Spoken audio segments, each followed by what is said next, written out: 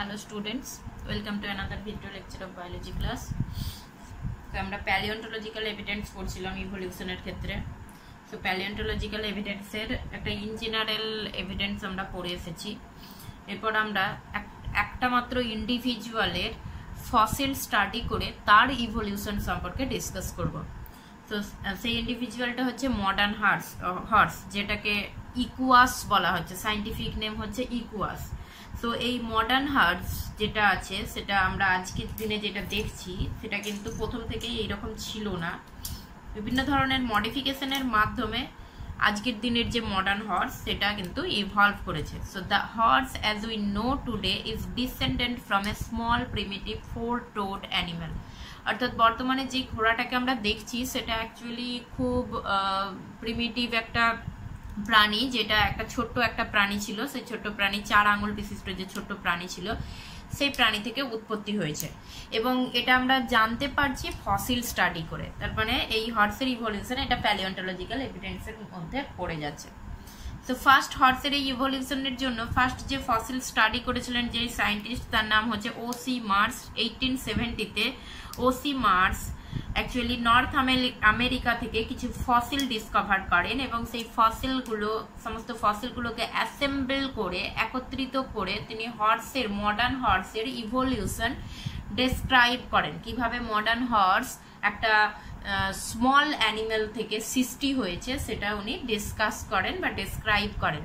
যদিও পরবর্তীকালে হাক্সলে বলে আরেকজন সায়েন্টিস্ট রয়েছেন, যিনি এই ওসি মার্সের এই ইভলিউশনারি হিস্ট্রি অফ মডার্ন হর্সটাকে আরও ভালোভাবে ডেসক্রাইব করতে সক্ষম হয়েছিলেন। তো first time O C Marsh describe করেছিলেন, পরে আবার হাক্সলে এটা ডেসক্রাইব করে এসেছেন সো প্রথম, একদম প্রথম যেটা আসছে হোয়াটসের পূর্বপুরুষ, সেটা হচ্ছে ইও হিপ্পাস বলছে সেটাকে। বা এটার আরও একটা নাম হচ্ছে হায়রাকোথেরিয়াম অ্যান্ড ইও হিপ্পাস এটা এটার যে ফসিল ছিল ফসিলটা ইওসিন ইপকে পাওয়া গেছে ইওসিন ইপকের ফসিল সো সেই জন্য এটা ধারণা করা হয় যে it's probably appeared in Eocene epoch and Eocene epoch sixty millions years ago এরকম অ্যাপ্রক্সিমেটলি একটা সিক্সটি মিলিয়নস ইয়ার্স এগোতে যে ইপকটা ছিল সেটা ইওসিন অ্যান্ড এই ইওসিন ইয়ে থেকে ইপক থেকেই ফসিলটা পাওয়া গেছিল ইও হিপ্পাসের ফসিলটা পাওয়া গেছিল। And it is known as dawn horse dawn horse বলতে এইটাই অ্যাকচুয়ালি প্রথম পূর্বপুরুষ হিসাবে আমরা ধরতে পারি। হর্সের প্রথম পূর্বপুরুষ হিসাবে অ্যানসেস্টার হিসাবে ধরা যায়। সেই জন্য এটাকে ডন হর্স বলা হচ্ছে। ডন মিনস আমরা জানি যে ডন মানে ভোর, অর্থাৎ একটা নতুন দিনের যে সূচনাকে বলা হয়। সো এক সেইভাবেই, সেই হিসাবেই কম্পেয়ার করে অ্যাকচুয়ালি হর্সের একদম পূর্বপুরুষ বা অ্যানসেস্টারকে ডন হর্স বলা হচ্ছে। এই যে হর্সটা ছিল, অর্থাৎ এই যে অ্যানসেস্টারটা ছিল ইও হিপ্পাস এটা একদমই মডার্ন হর্সের মতো দেখতে ছিল না। এর সাইজটা ছিল twenty eight to thirty centimetre অর্থাৎ একদম একটা শেয়াল বা কুকুরের মতো একটা ছোট্ট একটা প্রাণী ছিল। এবং এদের ব্যাকটা ছিল আর্ট একটু বাঁকানো টাইপের ছিল এবং নেকটা ঘাড়টা খুবই শর্ট ছিল। মডার্ন ডের হর্সের দৈর্ঘ্যও বেশি এবং নেকের দৈর্ঘ্যটাও অনেক বেশি। নেক্সট হচ্ছে যে এদের ফোর লিমস ছিল, অর্থাৎ যেটা অগ্রপদ যেটাকে বলছি, সেই অগ্রপদে চারটে ডিজিট ছিল, চারটে আঙুল ছিল, আর যেটা পশ্চাৎপদ, সেই পশ্চাৎপদ বা হিন্ড লিমের তিনটে ডিজিট ছিল। যে তিনটে যে ডিজিট ছিল হিন্ড লিমের এই তিনটে ডিজিট অ্যাকচুয়ালি যেটা two three and four digits R functional so তিনটে ডিজিটের মধ্যে এই তিনটে ডিজিট ফাংশনাল ছিল, এবং এদের ক্ষেত্রে ওয়ান অ্যান্ড ফিফথ ডিজিটটা কিন্তু স্প্লিন্টে পরিণত হচ্ছে, অর্থাৎ ক্ষয়প্রাপ্ত হয়ে গেছিল স্প্লিন্টে পরিণত হচ্ছিল।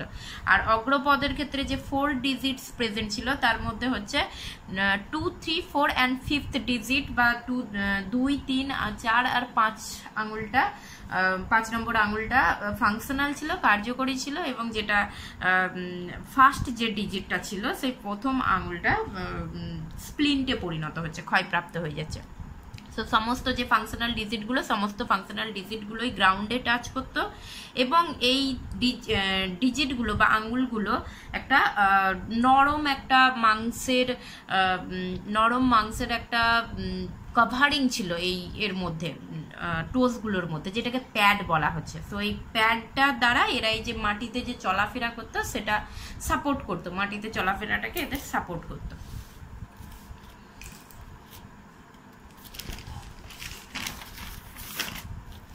নেক্সট হচ্ছে এদের আরও একটা যেটা ইম্পর্টেন্ট ক্যারেক্টার সেটা হচ্ছে তিত অয়ার শর্ট এদের যে তিতটা ছিল, সেই তিতটা ছিল শর্ট অ্যান্ড লো ক্রাউন্ড অর্থাৎ এইরকম ধরনের একটা স্ট্রাকচার ছিল তিথের শর্ট অ্যান্ড লো ক্রাউন্ড অর্থাৎ ক্রাউনটা অনেক ছোট ছিল।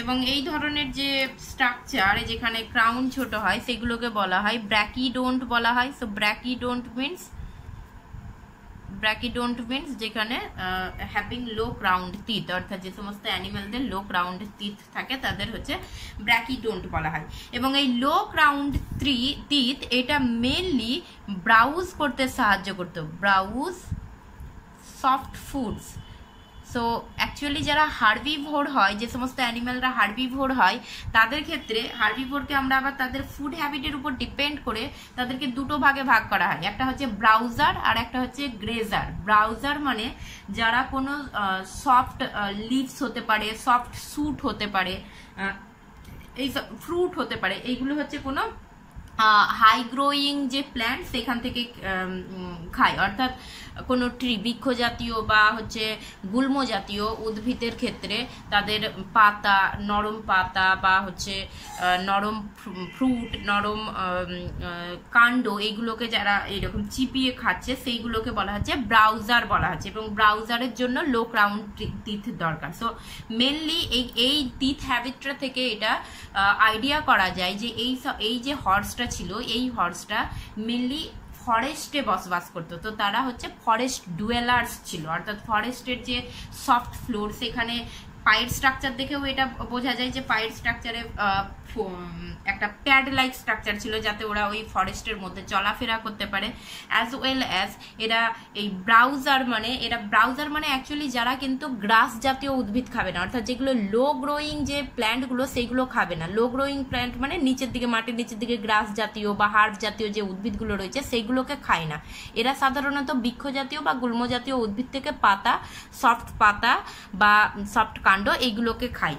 সো এইগুলো থেকে এটা মোটামুটি একটা আইডিয়া নেওয়া যেতে পারে যে এরা হচ্ছে ফরেস্ট ডুয়েলার ছিল। অর্থাৎ এরা জঙ্গলে বসবাস করতো। ফরেস্ট অরণ্যে বসবাস করতো। ফরেস্ট ডুয়েলার্স নেক্সট যেটা আসছে সেটা হচ্ছে মেসোহিপাস অ্যান্ড মেসোহিপাসের ফসিল পাওয়া গেছে। অলিগোসিন থেকে সোয়াপিয়াডিন Oligocene about approximately forty million years এগোতে, এদের সাইজটা ছিল সিক্সটি সেন্টিমিটার অর্থাৎ এখানে ইও হিপাস থেকে এর সাইজ কিন্তু ইনক্রিজ করছে। সো সিক্সটি সেন্টিমিটার এবং এদের ক্ষেত্রে যেটা হচ্ছে যে three digits in both four limbs and hind limbs অর্থাৎ ইও হিপাসের ক্ষেত্রে যেমন ফোর লিম্বে চারটে ডিজিট ছিল, এদের ক্ষেত্রে কিন্তু তিনটে ডিজিট এবং হিন লিম্বেও তিনটে ডিজিট ছিল। সো এইরকম ধরনের ডিজিট ছিল এবং তিনটে ডিজিটই কিন্তু ফ্লোরকে বা গ্রাউন্ডকে টাচ করতো, তিনটে ডিজিটই এবং তিনটে ডিজিট কোনগুলো ফাংশনাল ছিল? Two three and four R functional so এই এই তিনটে ডিজিট ফাংশনাল ছিল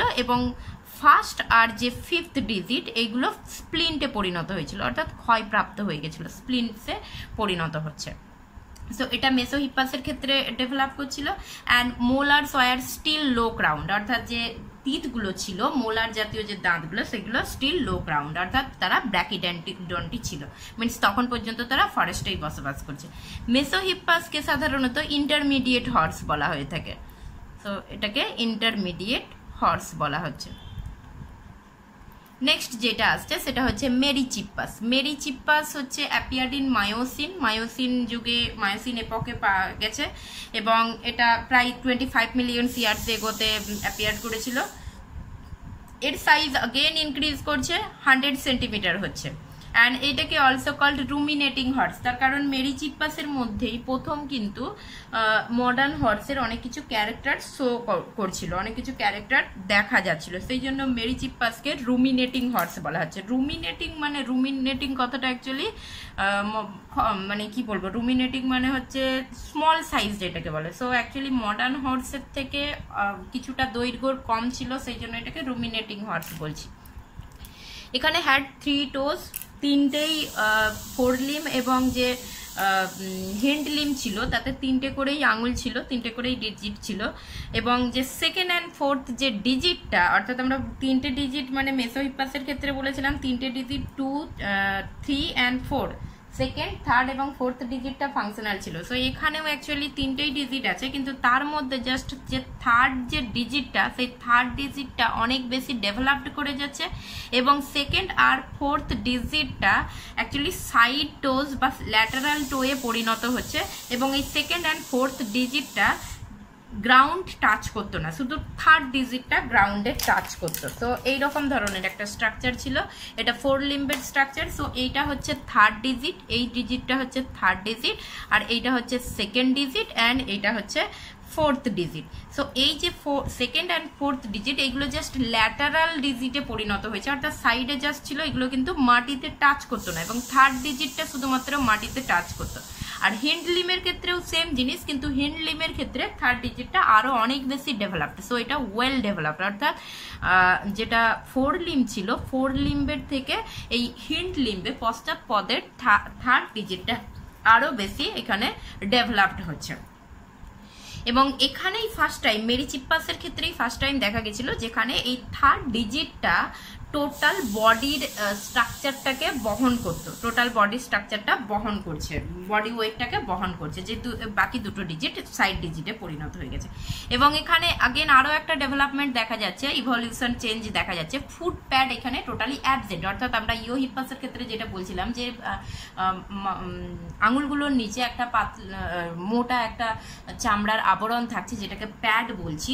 সো এই প্যাডটা অ্যাবসেন্ট ছিল এবং প্যাডটা অ্যাবসেন্ট থেকে এখানে মেন মেনলি হুপস ডেভেলপ করতে স্টার্ট করে। হুপস মিনস খুর খুঁড় ডেভেলপ করতে স্টার্ট করে। অর্থাৎ এই যে থার্ড যে টোটা ছিল, এই থার্ড টো এর নিচে খুর ডেভেলপ করতে স্টার্ট করছে। সো এইখানে এই জায়গায় এই যে থার্ড টো বা একটা আঙুল যে ডেভেলপ করছে বারবার ধরে ডেভেলপ করছে, এটা সাধারণত ইন্ডিকেট করছে যে এরা এদের যে রানিং অর্থাৎ দ্রুত গতিতে যে ছোটার জন্য এই ডেভেলপমেন্টটা কিন্তু ঘটছে। অর্থাৎ মেবি এটা হতে পারে যে এরা এদের প্রিডেটার থেকে বাঁচার জন্য দ্রুত গতিতে ছুটছে বা এদের বডি সাইজটাও সেই জন্য ডেভেলপ করছে, বারবার ইনক্রিজ করছে। বডি সাইজ এবং লেগ বারবার ডেভেলপ করার মিনস হচ্ছে এরা সাধারণত যাতে করে রানিংটা রানিংয়ের স্পিডটা বাড়াতে পারে। নেক্সট এদের আরও একটা ডেভেলপমেন্ট আসছে, সেটা হচ্ছে তিত ওয়ার হাই ক্রাউন্ড যে তিতটা ছিল সেটা এতক্ষণ পর্যন্ত আমরা বলছিলাম লো ক্রাউন্ড এবারে এসে এখানে হাই ক্রাউন্ড তিত ডেভেলপ হচ্ছে। সো এটা হচ্ছে crowned high crown teeth develop হচ্ছে অ্যান্ড এটা আমরা জানি এই পার্টটা হচ্ছে রুট বলা হয় তিথের সো এদের তিথটা হাই ক্রাউন্ড হচ্ছে। অ্যান্ড হাই ক্রাউন্ড তিথকে সাধারণত বলা হয় হেপসোডন্ট সো এখান থেকে এরা কিন্তু হিপসোডন্টে পরিণত হচ্ছে। অর্থাৎ মেরি চিপ্পাস থেকে এরা হিপসোডন্টে পরিণত হচ্ছে। আগে এরা কি ছিল? ব্র্যাকিডন্ট ছিল। এরপর এরা হিপসোডন্টে পরিণত হলো। মেরি চিপ্পাস থেকে এসে এরা হিপসোডন্টে পরিণত হলো। অ্যান্ড এখানে আরও একটা ট্রানজিশন ঘটছে যে এরা ব্রাউজার ছিল আগে, অর্থাৎ হার্বিভোরের মধ্যে এরা ব্রাউজার ছিল, এখন কিন্তু এরা পরিণত হচ্ছে গ্রেজারে। সো গ্রেজার মানে যারা সাধারণত গ্রাস জাতীয় উদ্ভিদ বা ছোট ছোট যে হার্ব জাতীয় বিরুৎ জাতীয় যে উদ্ভিদ, যেগুলো অ্যাকচুয়ালি লো গ্রোয়িং মানে যাদের দৈর্ঘ্য কম, নিচের দিকে জন্মায়, সেই সমস্ত উদ্ভিদের পাতা বা গ্রাস এই সমস্ত জিনিসগুলো যারা খায়, তাদেরকে বলা হয় গ্রেজার। আর ব্রাউজার সাধারণত বৃক্ষ জাতীয় বা গুল্ম জাতীয় উদ্ভিদের পাতা বা ফলমূল ইত্যাদিগুলো খেতে থাকে। সো এখানে মেরি চিপ্পাসকে সেই জন্য এখানে আমরা ট্রানজিশনাল ফর্ম বলতে পারি। সো এটা হচ্ছে transitional form. Transitional form means যে যেটা একটা ইন্টারমিডিয়েট ফর্ম কার মধ্যে না ব্রাউজার অ্যান্ড গ্রেজারের মধ্যে। অর্থাৎ ব্রাউজার থেকে গ্রেজারে কনভার্ট করছে কে মেরি চিপ্পাস এর আগে পর্যন্ত এরা ছিল ব্রাউজার এরপর এরা হয়ে গেল গ্রেজার হয়ে যাচ্ছে। অ্যান্ড সেই জন্য গ্রেজার হওয়ার জন্যই এদের টিথটা হচ্ছে হাই ক্রাউন্ড হচ্ছে এবং এখানে হিপসোডন্ট সো এখানে একটা ট্রানজিশন ঘটছে, পরিবর্তন ঘটছে। ট্রানজিশনটা কি ব্রাকিডন্ট থেকে হিপসোডন্ট বা ব্রাউজার থেকে গ্রেজারের ট্রানজিশন ঘটছে নেক্সট যেটা আসছে সেটা হচ্ছে প্লিও হিপ্পাস প্লিও হিপ্পাস এটা প্লিওসিন যে এবক্স এখানে অ্যাপিয়ার্ড করেছে ten to six million years ago size again increase করছে one one hundred ten to one twenty centimetre এইরকম সাইজ হচ্ছে। এবং এখানে কিন্তু first single toed or hoofed horse present থাকছে। অর্থাৎ এই প্লিও হিপাসের ক্ষেত্রে আমরা প্রথম দেখতে পাচ্ছি যেখানে একটা একটা মাত্র আঙুল বিশিষ্ট ঘোড়া। এটাকে সেই জন্য একটা সিঙ্গেল টোড হর্সও বলা হয়ে থাকে। সো ফার্স্ট এখানে এই প্লিও হিপাসে এসে প্রথম হচ্ছে একটা আঙুল তৈরি হচ্ছে। একটা আঙুল কোনটা? এই যে এইটা। এটা হচ্ছে থার্ড টো অ্যান্ড দুটো পায়েই, অর্থাৎ অগ্রপদ এবং পশ্চাৎপদ দুটোর ক্ষেত্রেই এই যে থার্ড টোটা পুরোপুরি ডেভেলপড করে যাচ্ছে এবং যে এখানে যে সেকেন্ড আর হচ্ছে থার্ড যেটা, এটা হচ্ছে সরি সেকেন্ড আর ফোর্থ এই দুটো কিন্তু স্প্লিন্টে পরিণত হয়ে যাচ্ছে। আর যেটা ফার্স্ট অ্যান্ড ফিফথ যেটা ছিল, সেটা টোটালি অবলুপ্ত হয়ে যাচ্ছে টোটালটাই রেডিউসড করে যাচ্ছে। সেকেন্ড আর ফোর্থ যে টোটা সেটা সাধারণত সাইডে এরকম ধরনের স্প্লিন্ট বা ক্ষয়প্রাপ্ত হয়ে রয়েছে। আর থার্ডটা প্রচুর পরিমাণে ডেভেলপ করে এরকম উন্নত ধরনের হচ্ছে এবং হুভড সৃষ্টি হচ্ছে এখানে খুর তৈরি হয়ে যাচ্ছে। সো সেই জন্য প্লিও হিপাসকে বলা হচ্ছে যে ওয়ান টোড হর্স বলা হচ্ছে। এবং তীর্থ আর লাইক মডার্ন হর্স মডার্ন হর্সের যেমন তিত আমরা দেখতে পাচ্ছিলাম, সেই দেখতে পাই সেই রকম ধরনেরই তিত এখানে প্রেজেন্ট থাকছে প্লিও হিপাসের ক্ষেত্রে। ইকুয়াস বা মডার্ন হর্স যেটা, এটা অ্যাপিয়ার করেছিল প্লিস্টোসিনে এবং স্টিল নাও এখনও রয়েছে। এটার সাইজ ডেভেলপ করে one fifty centimetre approximately one fifty centimetre আসছে। First and fifth digit are entirely lost এটা অ্যাকচুয়ালি প্লিও হিপাসের ক্ষেত্রেই হয়ে যায় second and fourth and second and fourth and fifth were represented by splint so এখানে যেটা আসছে ফার্স্ট ফিফথ বলছি সরি এটা সেকেন্ড অ্যান্ড ফোর্থ হবে। Second and fourth were represented by splint so first আর হচ্ছে ফিফথ ডিজিটটা টোটালটাই রিডিউস করে যায় এবং সেকেন্ড আর ফোর্থ যেটা আছে, সেটা স্প্লিনটে পরিণত হয়। অ্যান্ড থার্ড ডিজিটটা ডেভেলপ করে। আর লাইক মডার্ন হর্স মডার্ন হর্সের যেমন তিত আছে সেই রকমই আসছে সো প্লিও ইপাসকে অ্যাকচুয়ালি আমরা একটা নর্মাল যে মডার্ন ডে হর্স সেই মডার্ন ডে হর্সের মতোই প্লিও হিপাস ছিল। শুধু প্লিও হিপাসের সাইজটা বডি সাইজটা একটু কম ছিল। মডার্ন হর্সের ক্ষেত্রে বডি সাইজটা আরও ইনক্রিজ করছে। সো এখানে যে ইভলিউশনারি হিস্ট্রি যেটা আসছে মডার্ন হর্সের ক্ষেত্রে সো মডার্ন হর্সের ক্ষেত্রে যেটা ইভলিউশন ঘটেছে মেনলি যে ইভলিউশনগুলো ঘটেছে, সেটা হচ্ছে ইনক্রিজড হাইট অর্থাৎ হাইটটা বারবার ইনক্রিজ করে গেছে। প্রথমে থার্টি সেন্টিমিটার থেকে শুরু করে একদম one fifty centimetre height increase করছে। রিডাকশন ইন টোজ আঙুলের সংখ্যা কম হয়েছে এবং প্যাড অবলুপ্ত হয়ে এখানে হুব তৈরি হয়েছে খুর তৈরি হয়েছে। আর হাই ক্রাউন্ড স্পেশালাইজড তীর তৈরি হয়েছে। সো এইগুলো হচ্ছে ইভলিউশন যখন ঘটেছে, এই চেঞ্জগুলো মেনলি ঘটেছে। এখানে এই চেঞ্জগুলো মেনলি ঘটছে। সো এই reduction in toes and increased height এটা দুটোই হচ্ছে প্রিডেটর থেকে বাঁচার জন্য বডি সাইজ এবং টোয়ের সংখ্যাটা কমেছে এবং যার ফলে এরা দ্রুত গতিতে, দ্রুত স্পিডে এরা ছুটতে পারছে। আর তিতটা মেনলি এদের ফুড হ্যাবিট চেঞ্জ হওয়ার জন্য তিতটা চেঞ্জ হয়েছে। অর্থাৎ এখানে ফুড হ্যাবিট চেঞ্জ হচ্ছে মিনস প্রথমে যেই যারা ব্র্যাকিডন্ট ছিল লো ক্রাউন্ড তিত যাদের ক্ষেত্রে ছিল, তার সেখান থেকে একটা অ্যাজিউম করা যায় তারা ফরেস্ট ফরেস্ট ডুয়েলার্স ছিল ফরেস্টে বাস করছে।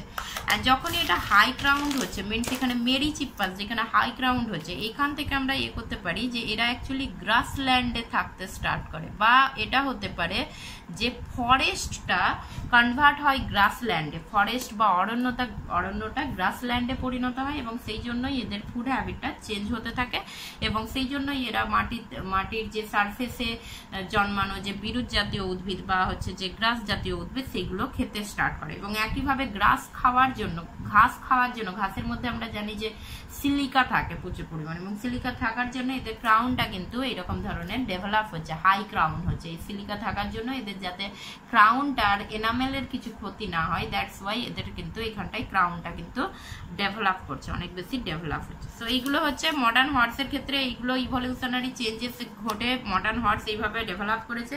একইভাবে এরকম ধরনের এলিফ্যান্ট বা ক্যামেলেরও এরকম ফসিল স্টাডি করে তাদের ইভলিউশনারি হিস্ট্রি জানা গেছে হিউম্যানের ক্ষেত্রেও জানা গেছে।